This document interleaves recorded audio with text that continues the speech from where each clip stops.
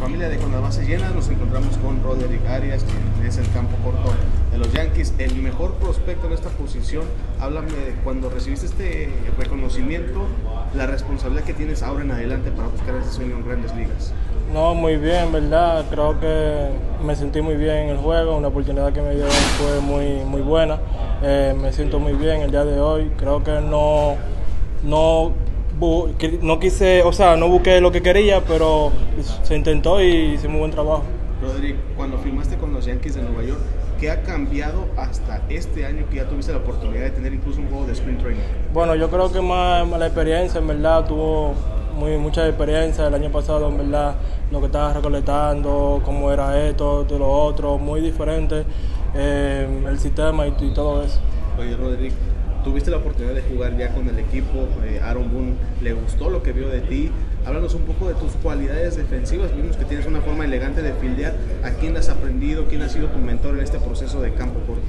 Bueno, en verdad eh, creo que yo eso es natural, en verdad lo natural se tiene que trabajar cada día con consistencia y creo que mi, en verdad mi ídolo que como José Reyes, en verdad me gusta su flow, todo eso, en verdad lo admiro mucho y no, normal es seguir trabajando y que sigan siendo con la misma expectativa que yo me ven como pelotero y sí, normal algún jugador que admirabas de los Yankees de Nueva York eh, cuando eras, eras, más joven? Digo, yo sé que tienes eh, una edad corta, pero alguien que, crecías eh, admirando. No, claro, Arce Rodríguez, una máxima. Oh, Rodríguez me gustó mucho, en verdad, su, su, forma de ser, cómo él compartía con los jugadores y todo eso. En verdad me gustó mucho su, su, de su destacado, como él se destacaba, soy cómo se destacaba en el juego y todo eso. Y qué casualidad que tienes el número 13 precisamente, ¿no? ¿Te sentís que te, yo, emoción?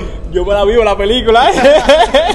Hermano, eh, háblame un poquito, eh, ¿cómo es el hecho de tener a muchos dominicanos? ¿Cómo te ayudan? ¿Quién es un jugador posiblemente que te has acercado y le has pedido un consejo y que lo tienes muy en mente? No, en verdad es muy bueno, ¿verdad? Eh, compartir con mis compatriotas y todo eso, al lado de ellos uno uno puede aprender de, uno, aprender del otro y todo eso. Yo creo que es muy bueno y normal. Yo yo comparto algunas veces con la granja, la lana, con los pitches y todo eso. Ellos me dicen cómo, cómo me fue en este turno, todo eso, cómo me ha ido en el, terreno y todo eso. Y ellos me, me, aconsejan y todo eso. Rodrigo, por último, tu familia, ¿qué te dice de esta oportunidad de que vas ascendiendo cada vez en tu trayectoria? ¿Quién, quién es el que está más contento de todos? No, mi papá, en verdad, y mi familia, mi mamá, mi hermano que están allá apoyándome y todo eso. En verdad, le agradezco mucho y todo eso.